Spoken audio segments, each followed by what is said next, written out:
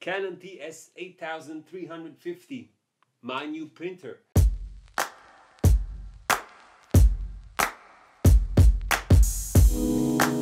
Take me in your arms, do just what you want. You're the one I trust.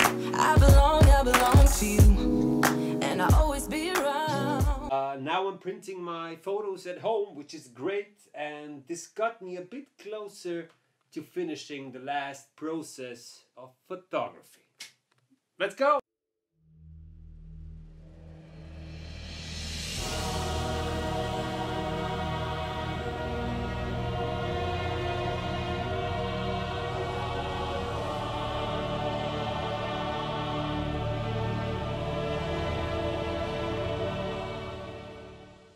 the printing was as epic as you saw it.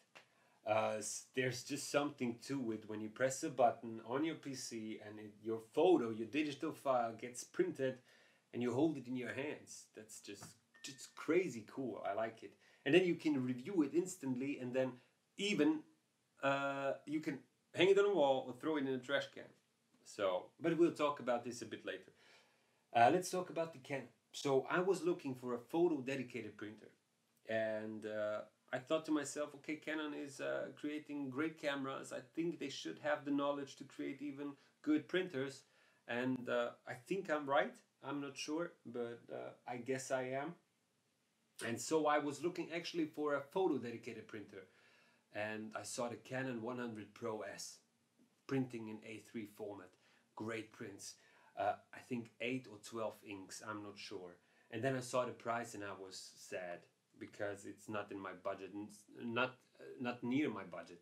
So I switched my mind and I started to looking for a, a round printer with a with a bit more weight on the photo printing side.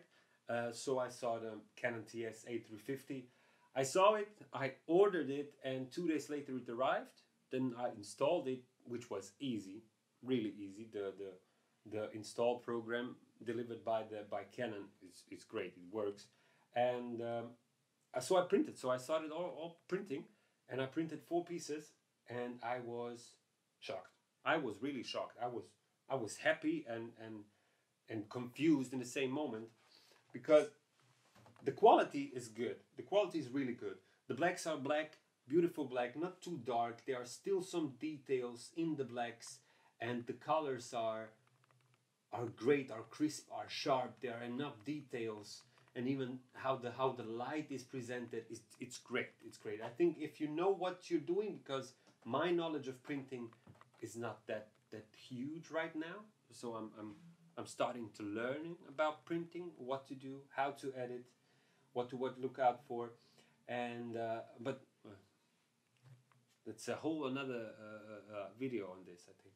But let's go back to the printer. It has six different inks, including photo blue, uh, which was the main argument why I bought it. Because I thought to myself, when it has photo blue, it has uh, a huge range of colors to be presented, and the photos should be in a good quality, and they are in a good quality. It has Wi-Fi connectivity, so you can print from any device at home smartphone, tablet, laptop, PC, Mac. It it doesn't care. Just print it. Send me the work, I print it. Great, awesome, I love it. Quality in life improvement by 10 times. And uh, it has borderless printing. Borderless printing means that the whole page, the whole A4 size of this paper will be filled with ink and this is i think cool because now you have a stylistic choice if you want to have a like a kind of a passepartout or you have you want a whole a4 paper full of ink absolutely up to you your choice. And uh, it's great. There's so much more. There's that, that's a science. Printing is a science. Uh, i used everything from canon canon ink and canon photo paper. And i'm going to continue to use everything original from canon uh, just because I want to uh, to to maintain the best possible quality that this little thing can uh, put out. So, but let's talk. Let's talk about the the dying part of photography. Imagine being a designer and your design only exists on a sketchbook, or being an architect and your plan never gets built, or being a photographer and your work never gets printed. For me, printing is the last little difference trying to escape the, the, this fast digital expanding world. Trying to create something timeless something meaningful and, and, and calming to to to get something out of this digital realm into into our our real world. Embody it on a, on a plain and simple piece of paper and enjoy it. Review it. Hold it create. And while making it while doing it or sorting the pictures out for print you will automatically pick the best pictures that you have with the most meaning behind it or a great memory behind it. And it has so much power when hanging on the wall and walking by and taking a quick look at it and get inspired you see it and you think about it and the memory comes back and you're happy. And i think that's a good way to deal with a creative block. When you have your pictures hanging on the walls and you have a creative block just look at them. Look what you created look what you are actually capable of. And i think the creative block will just run away from you because you will be so inspired so pumped and hyped that you are going to create the best images you ever created.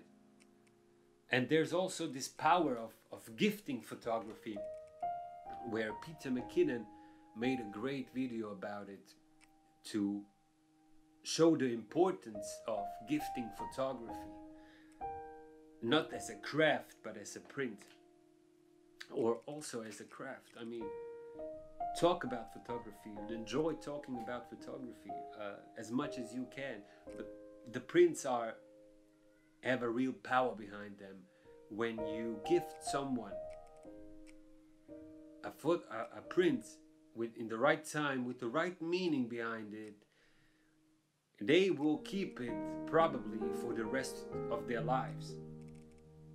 And it can also inspire them. It can give them a, strength when they're weak, or it can just bring them joy.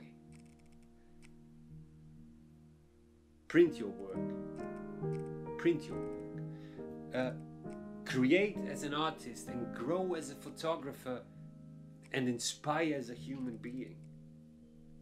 And to end this one on a, on a quote the electronic image could no more replace a photographic print than a synthesizer could a violin. So thank you for watching. Uh, smash everything you see, and we see each other in the next one.